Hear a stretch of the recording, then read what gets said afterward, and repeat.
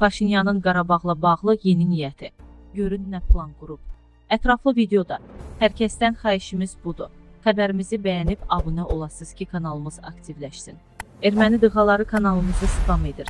Atdığınız hər like xəbərimiz üçün çox önəmlidir. Və like olan halda erməni dığaları kanalımızı spam edə bilmir. Öncədən təşəkkürlər. Ermənistan Respublikaçılar Partiyasının sədr müavini Armen Aşotyan baş nazir Nikol Paşinyanın Qarabağ məsələsi ilə bağlı planlarından bəhs edib. Mət TV xəbər verir ki, o Paşinyanın Azərbaycanla çərçivə sazişi imzalamaq niyyətində olduğunu və Qarabağ məsələsini ikinci plana keçirmək istədiyini iddia edib. Aşotyan deyib ki, Paşinyan Qarabağ məsələsi ətrafında qurtuluş naminə ayrılma prinsipi ilə danışıqları davam etdirmək niyyətindədir və bu niyyətləri Minsk qrupunun həmsədr ölkələri ilə razılaşdırılmayıb. 21 iyun tarixində meydanda kapitulyant generator bəyan edib ki, ən yaxşı həll yolu qurtuluş naminə ayrılmadır.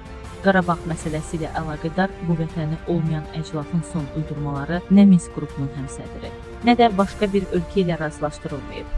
Bu deməkdir ki, bu səfeh yenə də beynəlxalq ictimaiyyətin dəstəyini almayaraq Qarabağ məsələsində oyunu oynamağa çalışacaq. Onun sözlərinə görə hazırda beynəlxalq ictimaiyyət Qarabağ məsələsini həll edilmiş hesab etmək meyillidir.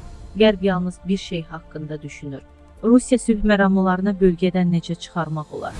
Rusiya isə bölgədəki mövqeyini möhkəmləndirmək, status məsələsini vəziyyəti sakitləşdirmək üçün nə qədər təxirə salmaq barədə çalışır. Aşotyan hesab edir ki, bu seçkilər nəticəsində bir sıra məsələlər meydana çıxacaq. Bu təslimçi sui-qəsdçinin siyasi gündəmində Ermənistandan gözlənilən gözləntilər digər taleyüklü güzəştləri meydana çıxaracaq. Məsələ delimitasiya və demarkasiya məsələləri. Həmçinin Qarabağla bağlı danışıqların tamamilə dondurulması da daxil olmaqla Azərbaycanla çərçivə razılaşmasından gedir. Mət TV olaraq mövzunu diqqətdə saxlayacaq. Ölkədə və dünyada olan xəbərlərdən anında xəbərdar olmaq istəyirsinizsə, kanala abunə olub bildiriş butonunu açmağınız kifayətdir.